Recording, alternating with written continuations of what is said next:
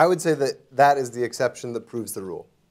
A- and I'm, I'm trying to articulate this thought for the first time aloud, so let me see if I can get it right, which is that shareholder capitalism, which is mostly what governs most public companies these days, um, creates conditions and incentives that make it really hard for the values that get stirred up when people start a mindfulness practice, makes it really hard for those values to find a home, despite what you've heard mm. at Aetna.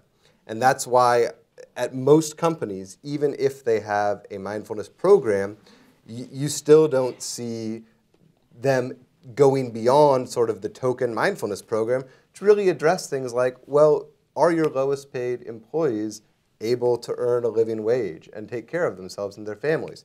And those kind of decisions you hear, you know, bump up very quickly against the spreadsheets that human resource officers model and ultimately against shareholders. Um, you know, I forget if, uh, uh, to what extent, if any, you had pushback from shareholders.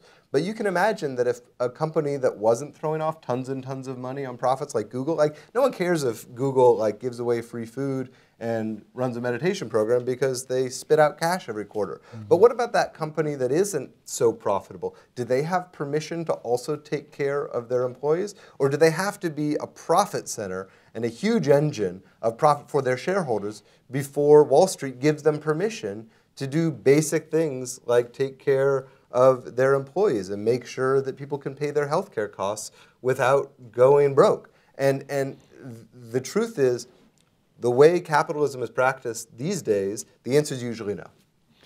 And I, and I think that is up to the leadership of the organization. So when I met the day I announced, I had 240 million of the 350 million shares at the JP Morgan conference in California, mm-hmm. In San Francisco. And I didn't get one pushback. I had one shareholder, who was our largest shareholder, say, I'd like you to double my dividend. And I said, I'm not going to do that because I'm going to invest in the company. Well, how about more share buybacks? No, I'm not going to do that because I'm investing in the company. Well, what if your large shareholder insists that you do that? I said my largest shareholder should get the hell out of my stock. And she did, all 34 million shares, at $39 a share. She got back in at 109. so she missed the opportunity. And, and so I think it's a stewardship argument. Yep. So I lowered everybody's expectations. So I'm not going to give you 15% every year. I'm going to give you seven and I'm going to invest in the business. It's going to grow. It ended up generating 17. But you have to have that, you have to reset the expectations. Because really good, any real good organization has to generate a margin to continue to invest in their mission. Um, and mission-led organizations, whether they're for-profit or not-for-profit, generate margins, put it back into the company. I don't write a check to my shareholders for every dollar I make. Mm-hmm.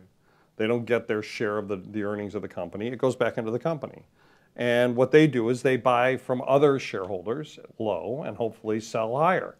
Um, that's you know the, the share game, and uh, the American public doesn't understand this economic concept, which is a hard a hard thing to to to, to explain to people. But in the end analysis, if you manage your shareholder base to the expectations of what you believe the investment priorities and the mission of the organization are, I start every conversation with my shareholders about what our mission is, then they can't argue with me. And if they don't, they can just get the hell out of our stock.